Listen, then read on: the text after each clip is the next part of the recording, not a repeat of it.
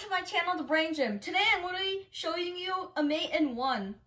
So, uh, the so it's a black to play, and uh, you have to checkmate the white king in one move. So let's look at the openings to the white king. So this pawn is an opening, so this diagonal is open, and this pawn is pinned, and also attacked by the bishop and this pawn is not an opening. So I'll give you a couple of seconds to figure uh, this mate in one out.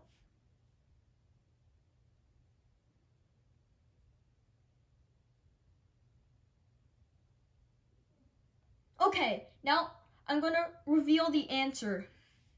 So the answer is the queen would take this pawn because it was pinned by the queen and also bishop is supporting the queen. And the pawn couldn't take the bishop because it was a pin. The queen is checking the king, so it, the pawn couldn't take the bishop. So this is the checkmate. Thank you.